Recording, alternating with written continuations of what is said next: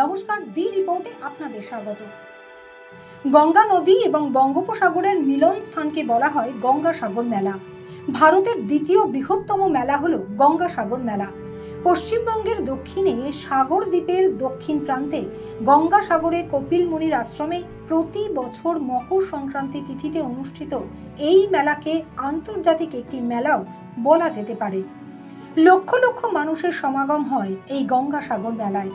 একসময় এই গঙ্গাসাগর কপিল মুনির মন্দির থেকে সমুদ্রে স্নান করতে গেলে যেতে হতো আড়াই থেকে তিন কিলোমিটার রাস্তা, ভ্যানে অথবা পায়ে হেঁটে। কিন্তু বর্তমানে সাইক্লোন, ইয়াস, আমফান সহ বারংবার প্রাকৃতিক দুর্যোগের প্রকোপে সাগর পাড় আপনা আপনি ভাঙতে ভাঙতে সেই দূরত্ব কমে চারশো মিটারে এসে ঠেকেছে।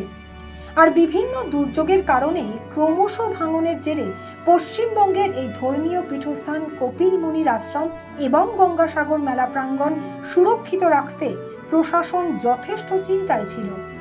এবার এই ধর্মীয় পীঠস্থানকে এবং এই দ্বীপকে প্রাকৃতিক দুর্যোগের কারণে ভাঙনের হাত থেকে রক্ষা করতে গঙ্গাসাগর বকখালি ডেভেলপমেন্ট অথরিটি এবং রাজ্য সরকারের সাথে একাধিক সংস্থার বৈঠকে পরীক্ষামূলকভাবে একটি বিশেষ ব্যবস্থার সিদ্ধান্ত নেওয়া হয়।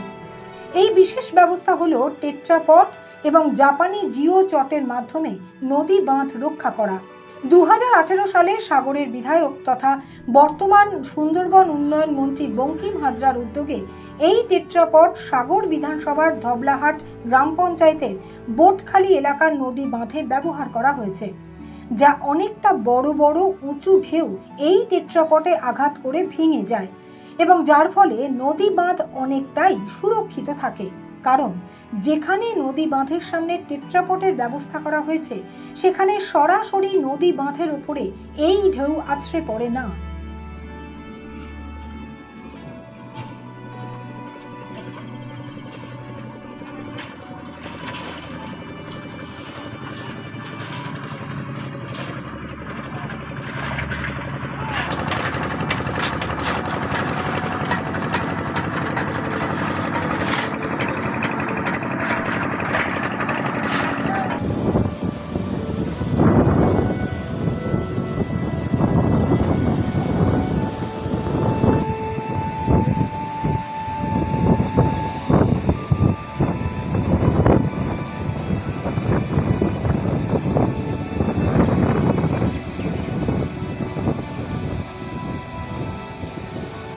সাগরে কপিল মুনির মন্দিরে স্নান ঘাটের সামনে এই ধরনের দু হাজারেরও বেশি টেট্রাপট এবং জাপানি জিওচট নদীর কাছে লাগানো হচ্ছে।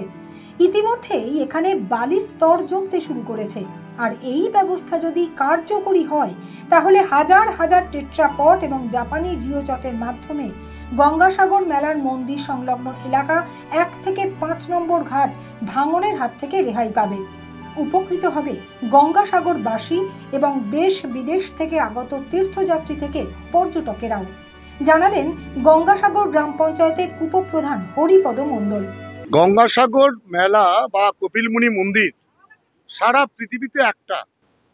পশ্চিমবঙ্গ সরকার এই ধর্মীয় পীঠস্থান পীঠস্থানটাকে বাঁচানোর জন্যে, অর্থাৎ তার যে মেলা গ্রাউন্ড যেটা দিনের পর দিন ইয়াস, ফণি, সাইক্লোনের যে সমস্ত মানে জলোচ্ছ্বাসের পাড় ভেঙে শেষ হয়ে গেছে।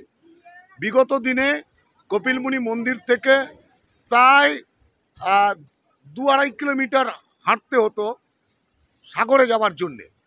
কিন্তু সেই জায়গাটা আজকের চারশো মিটারে এসে গেছে। তাহলে এরকম একটি পরিস্থিতিতে দাঁড়িয়ে সরকারের পক্ষ থেকে বিভিন্নভাবে জাপানি একটি মডেল, ট্র্যাপ ব্যাগ এবং ট্রেকটাপট দিয়ে এখানে আটকানোর ব্যবস্থা গ্রহণ করা হয়েছে।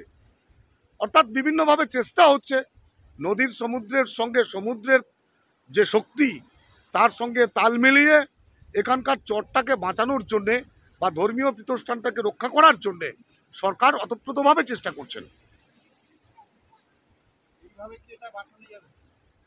আমরা যেটা দেখছি এই মুহূর্তে যেটা দেখছি যে ট্র্যাপ ব্যাগের পাশে আস্তে আস্তে করে চর জমা শুরু হয়েছে। বালি জমা হচ্ছে, চর হচ্ছে।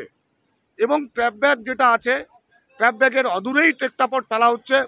সেই ট্রেকটাপটগুলি আর এই যে প্রবল সাইক্লোন জলোচ্ছ্বাস, এই জলোচ্ছ্বাসে কতটা আটকাতে পারবে, সেটা এখন পরীক্ষা প্রার্থনীয় ট্রায়াল সিজন দক্ষিণ চব্বিশ পরগনা থেকে মামুনি রায় রিপোর্ট দি রিপোর্ট আরও বিভিন্ন খবরের আপডেট জানতে হলে দি রিপোর্ট চ্যানেলটিকে সাবস্ক্রাইব করুন। আপনাদের একটা সাবস্ক্রিপশন আমাদের কাছে অত্যন্ত মূল্যবান। জয় হিন্দ।